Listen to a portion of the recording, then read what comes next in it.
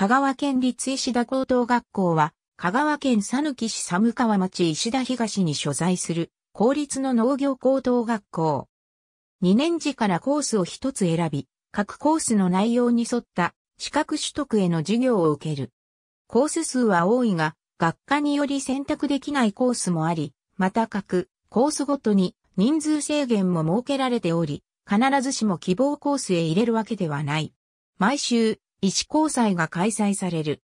実習過程で収穫された野菜や花、苗木などの販売が主であり、フリーマーケットや飲食物などの販売も行っている。毎週、収穫祭が開催される。午前中は普段通りに授業を受け、午後から始まる。全校生徒、全教員が校庭に集まり、学校より支給される鉄板や網などを使い、収穫されたものを調理して皆で食べる。収穫祭とあるが実際は業者に発注し、仕入れたものを使用する。中には自宅やスーパーなどから材料を持参するものもおり、何を食べても自由な文字通り祭り状態になる。また、鍋やせいろなどを持参し自分で料理し振る舞う者もいる。